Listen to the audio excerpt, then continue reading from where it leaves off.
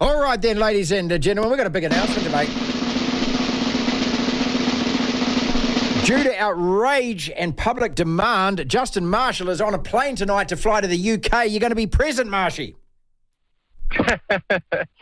yeah, I, I, wish it was um, for different circumstances, Dev, but uh, yes, I'm still heading over to the UK uh, to be uh, around those All Black Test matches. Uh, I won't be involved uh, in it doing TV, but um, still be great to be back there. I haven't been over to the UK since 2018 uh, to um, see rugby played in that part of the world, so looking forward to it. So, what are you going to be doing?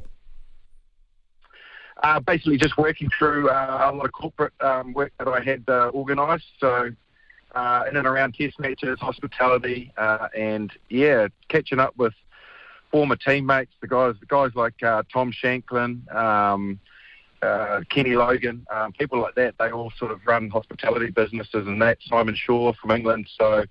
Mertz is floating around over there too. Brilliant. My good old mate George Gregan, he now lives in London, so I don't think I'll be bored, Dev. Okay, so and when you do this, do you actually mind? Because I've, i know that there are people that that uh, that turn their nose up at this or say, "Oh, I've got to do this." Do you think it's a got to do, or do you actually enjoy meeting the people when you're doing it?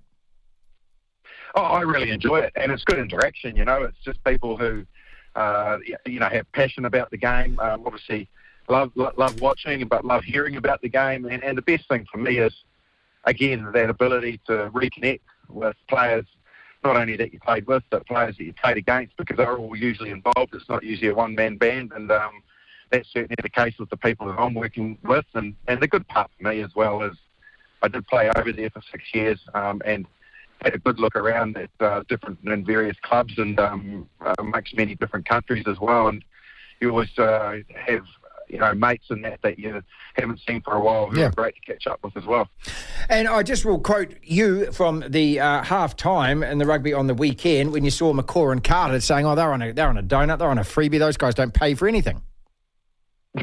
yeah, no, there's uh, there'll be some sort of gravy train that those boys That's are it. on. Um, you know they're riding. Yeah, no, no doubt. But you know they, they earned that, and and and uh, I don't think that anyone could debate that. And um, I see that they made their way into the All Black changing room as well. Um, thankfully, they got in there uh, at a time where um, you know, they, they managed to get get get a victory. It would have been a bit awkward otherwise. I'm just going to play you a, a little quote of commentary. It's just a few seconds. Today in 2015, we beat Australia to win the Rugby World Cup. Here was the last piece of the commentary. Is this the greatest ever era, even for New Zealand? Well, it feels like it right now. Justin, I don't know if it's the greatest ever era, but where are we now compared to where we were eight years ago? Well, we're not there, um, and th- there's no doubt that I think the results are reflective of that. Uh, whether that's been a the catalyst for that has been a decline in the way that the All Blacks are playing, and, and they've lost their mantra a bit, or there's been a significant shift in the rest of the world that they've caught up. Uh, but there's no doubt that through that period, know, 2011, where we won the World Cup here in New Zealand, um, right through to 2015, uh, there was just a, an incredible run of success, and you know that that was what the, the foundation of um, you know All Rugby has been built on uh, all the time. You know, creating history, winning um, Bledisloe's rugby championships, winning Test series, uh, and then in more recent years Rugby World Cups. Uh, it certainly was a golden era. Um, can I put my finger quite on why we are not uh, that successful anymore and why we are regularly dropping test matches? Um, and, yeah, and when I say put my finger on it, is it our decline or the rest of the world's uh, lift and um, ability to now take the All Blacks on? Uh, I think it's a combo. To be perfectly honest. Now that sounds like genuine fence sitting. I know that you're probably smiling away to yourself, but I do feel that the rest of the world have got a lot better, uh, bigger, stronger, better resources, better depth. But I also feel that we have probably lost a little bit of our depth and a little bit of our talent pool is not what it was 10 years ago.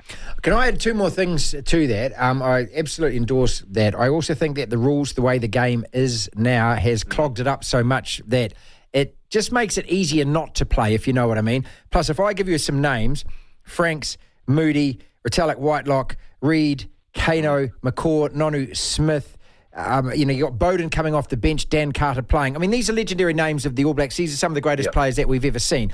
And and you know, when we lost those players, a lot of them 2015, 16, 17, it takes actually years to before I believe the resultant action means that what happens is in five or six years you feel it. Same as Man United, you know, Alex Ferguson. It took a few years, then you get into the slump. I'm not saying we're in a slump at the moment, but look, that match against Japan was as messy as I've seen from the All Blacks. And you pointed out a week ago, and you were exactly right.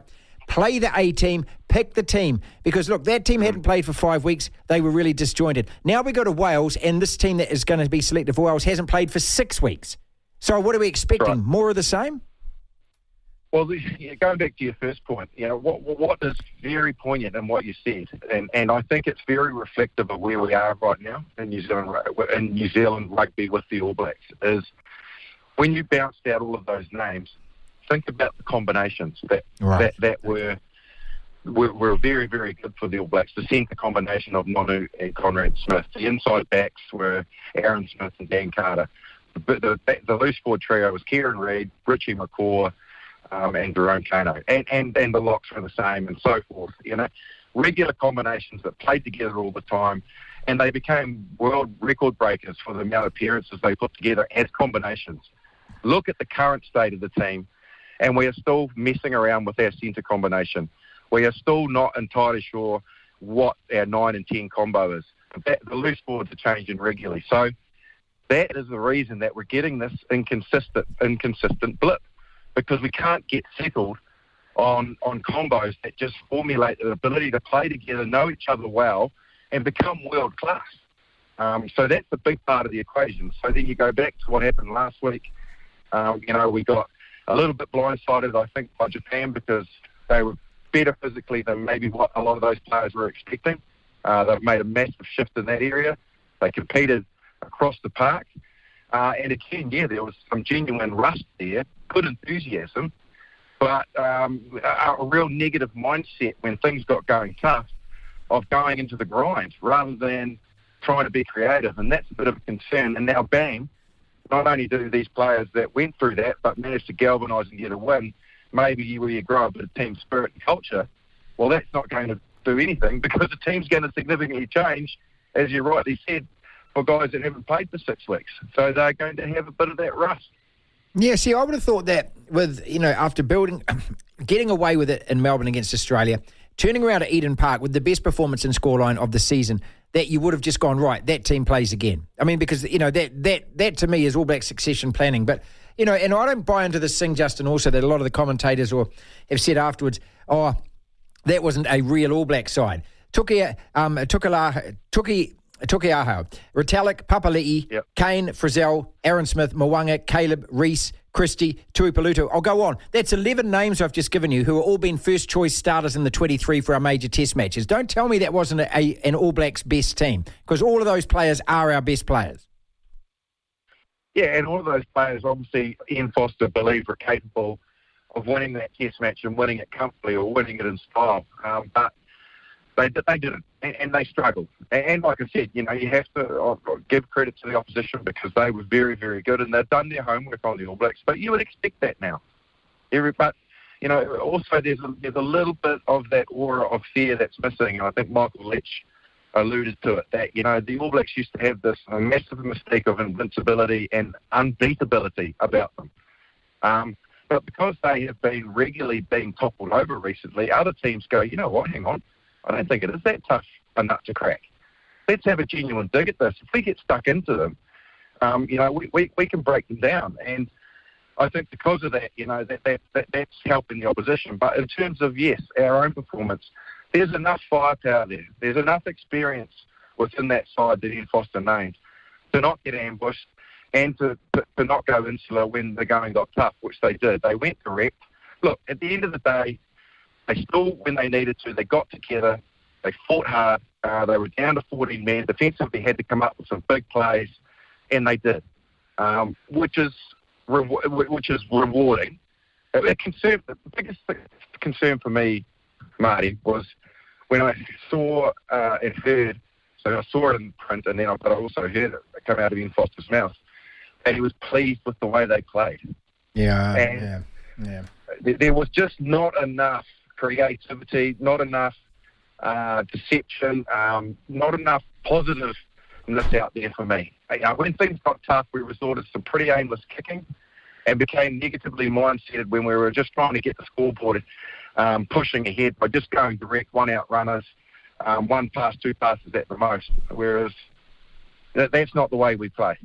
See, the we, worry we for me play like that against those those. We sorry, but but we but we cannot play against uh, that style of game against these big teams in the UK because they're too physical. We just run into traffic and we'll run into problems. Yeah, see, what was concerning for me is I thought that, hang on a second, it looked like we were playing Argentina and Christchurch again. That directionless where all they're doing is making one on one tackles. Everyone can do that. Every single player in rugby is going to stop you one on one, apart from obviously, you know, if you get um, Samisoni, you know, against Stearns and you get Caleb on a one on one. But most of the time they will stop you one on one. So, look, I mean, it's easy to bag the team. It's really easy to hammer the, this, you know, the selectors. But what we want to see is you want to see improvement, don't you? I think we've absorbed what we've seen this year and been pretty unhappy about it. But what you're always hoping for is that we've turned the corner. I looked at that and I thought, my God, maybe we haven't turned the corner. Yeah, and, and I don't think it's actually bagging. I actually think it's frustration. But that's what I'm feeling. I'm feeling this frustration of seeing all that talent out there and the ability that we have to play, but but not not playing the way that All Black players instinctively play. We're, going we're going into a, mindset and a, and a, and a frame of, um, I guess, pattern out there where, where we look afraid to play at times. And when it gets a little tough, we're not prepared to roll our sleeves up and, and, and, and get in the fight, and particularly in our own half. The best we looked was when we took on South Africa at Ellis Park, where we were massive underdogs after getting resoundingly beaten, the week before, and we're quite prepared to play from all parts of the field. And when we kicked, we only kicked when necessary and we kicked accurately and we put them under pressure. I, I haven't seen that since. Um, we can bully Australia, and I've always said that, and you know that. So physically, we can beat them up. So they, they, they are a different prospect. It puts us in a false mindset when we when we go, oh, the All Blacks are fine now because they beat Australia by 40 points. Because in my, in my mind, are always a team we can out physical. So, you know, why are we not playing – regularly that style of game that we're so used to seeing. How many times in that game did you see Caleb, Caleb Clarke get the ball with five or six metres to wind up in space on his wing?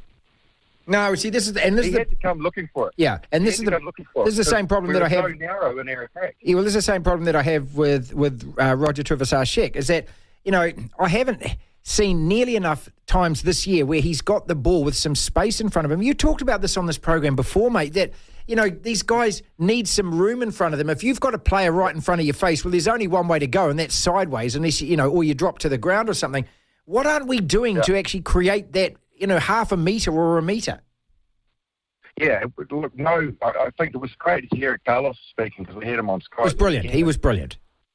Yeah, and he, he was he was saying the same thing. Why are we playing so narrow? Why why are we making the field so reducing the width where our strength is out wide. We're not using any, and, and I totally agree, we weren't really using any transition runners out the back. We weren't showing any depth when that line speed was coming at us to, to, go, to give some return balls or to have some players in motion. Um, what he, he, he was call, he was calling sort of, I can't actually remember the name he used, I call it a transition runner, but he, he was basically bang on, saying, you know, where where are where are where's their deception? You know, Japan were doing that. Uh, the only thing I can put my finger on is they were holding themselves back. But bloody hell, why? No, you don't. But, but that's rubbish. Don't you don't. Show, tell me when you held yourself back. Tell, tell me in a black jersey when you held yourself back, and I'd say rubbish. Bollocks, mate. You don't hold yourself. Yeah, well, no, well, in terms of, I mean, maybe they didn't. They were worried about these players who haven't played for a while. They went with a reasonably narrow, direct mindset of a game plan, and they also probably didn't want to show maybe some of the innovations and the, and that, that they're going to use against these three sides when they get to Europe. That's, uh, I'm, I'm I'm hoping that's why we played the way we did. That's all I'm going to say. All right, because I mean, if you're talking about if it's, if it's, if it's, if it's not that, bloody hell, we have to be asking some big questions. Uh, if it's not innovation, that line-out move where Roger catches the ball, I don't want to see that against England. Okay, oh, that's not innovation to me. That's risk, and that says to me that they're going to score off that. I don't want to see that again. It was fine against Japan. Yeah.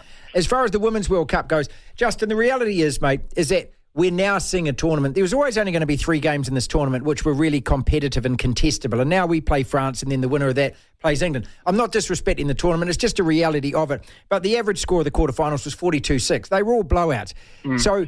So, what are you seeing from our side? The Black Ferns look magnificent, but are we going to get the ball? And and have we had enough games against teams that have tested us to a point where we can now take on these two teams that belted us so bad last year? I think probably more importantly, and you're, you're bang on, there, there, hasn't been enough pressure. The most amount of pressure the Black Ferns came under was in that first game against Australia where they got behind quite significantly early, and it was good to see that they had the resolve just to, to stick by their mojo and, and, and get their game back in, into action. But obviously they can't, um, they can out physical Australia. Um, so that, was, that, that does help in that regard. They won't be able to do that against France and England. But I think most importantly, they are well coached, and I, I do know Wayne Smith incredibly well. I'm hopeful that he's not going to enter into this mindset of this all this chat about the fact that the France and England can out physical us, we can't scrum, we can't do this and can't do that, because quite simply they can. So what you've got to do is think, right, we're going to we're going to get the odd scrum penalty, we're going to get pushed around every now and then, but that we can't enter into playing that style of game because they look so much better when they use the ball. And it, Jesus, I sound like I'm talking about the All Blacks, but yeah, true. They, they look the, the Black Ferns look such. They, they've got to play intuitively. They've got to play instinctively, like they have been um, through the pool games and all that. Yeah, they're going to have to up their, their tempo at that, at the set piece, etc. But still, they, they don't want to enter into an arm wrestle against France and England of a set piece orientated game. So hopefully geez, I won't hold my breath about the weather in Auckland, but hopefully they get dry conditions. Yep. And the, the, ball gets into the hands of Ruby Tui with uh, and Woodman and co, because that's where we need to attack those sides.